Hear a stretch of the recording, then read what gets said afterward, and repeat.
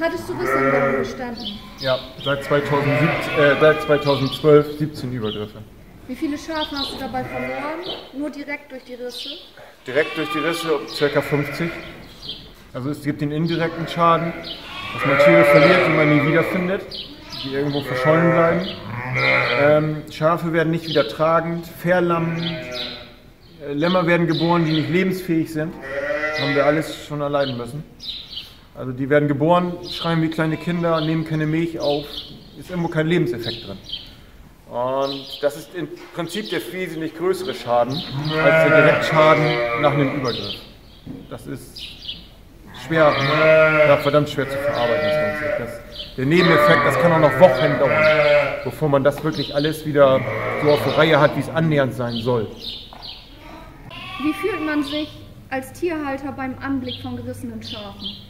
Erstmal hilflos, komplett hilflos in der ersten Sekunde. Dann versucht man das zu realisieren, was da passiert ist. Man versucht das aufzuräumen, man geht an die Tiere ran. Dann trifft man natürlich auf Tiere, die schwer verletzt sind, noch leben. Und dann geht es emotional im Prinzip, also mit mir persönlich durch. Dann ist das ein Gefühl zwischen Hilflosigkeit und Hass, was dann in, in einem entsteht. Weil man nicht weiß, wo soll man anfangen, welches Tier rettet man zuerst oder versucht zu retten. Also emotional ist das Prinzip nicht zu verarbeiten.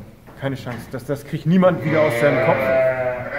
Das bleibt da ewig drin und ich glaube nicht, dass es dass ein Mensch gibt, der das emotional so verarbeiten kann. Geht nicht. Schafft kein Mensch. Niemand. So kalt ist niemand. Kann niemand sein zumindest. Zumindest kein Tierhalter.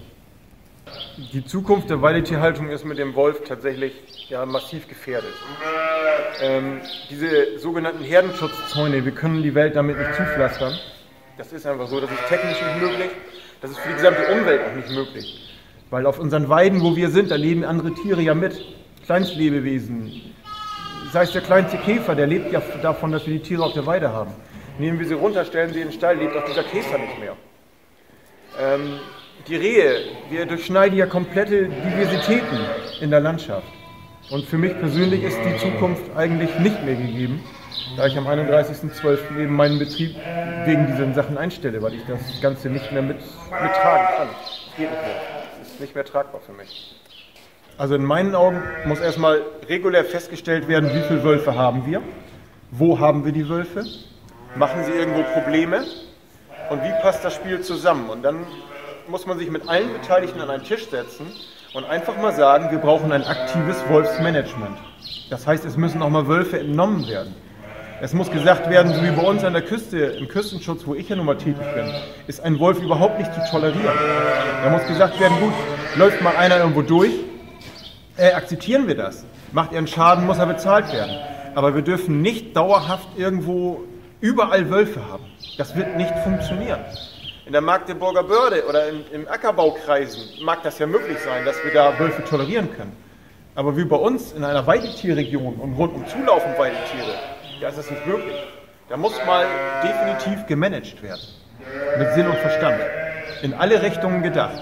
Auch mal in Richtung des Wolfes gedacht. Wir können ihn ja zulassen. In gewissen, in gewissen Kreisen, in gewissen Gegenden. Aber nicht in diesen Stückzahlen und auch nicht so unausgebreitet oder ungedämpft, wie er jetzt läuft. Keinen Fall. Was für ein Verhältnis hast du zu deinen Tieren? Ja, das ist alles. Wir haben nur die Schafe. Das ist für uns im Prinzip alles, was wir besitzen. Das ist unsere Existenz. Da hängt alles dran. Und wenn es denen nicht gut geht, geht es mir auch nicht gut. Also alles, was wir besitzen, sind die Schafe.